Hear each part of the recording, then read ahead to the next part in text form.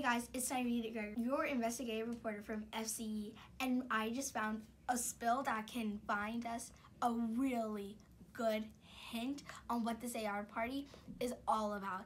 A mole is willing to spill a, a lot of details.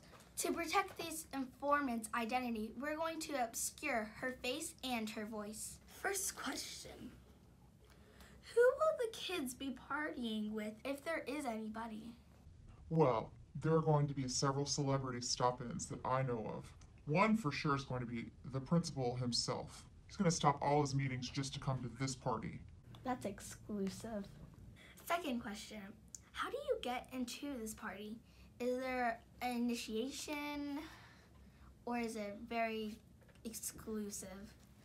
I like your word exclusive. It definitely is. It's supposed to be the top two scorers for each participating class. And super secret, I heard, they might even include kids who have 150 points or more.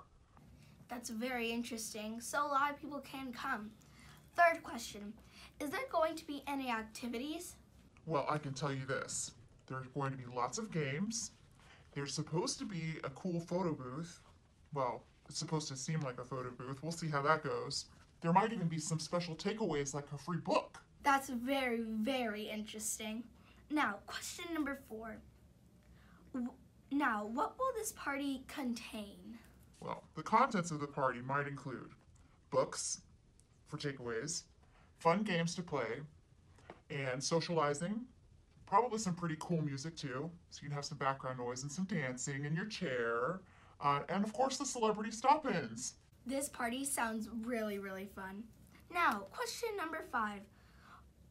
Why is this party so, you know, secret?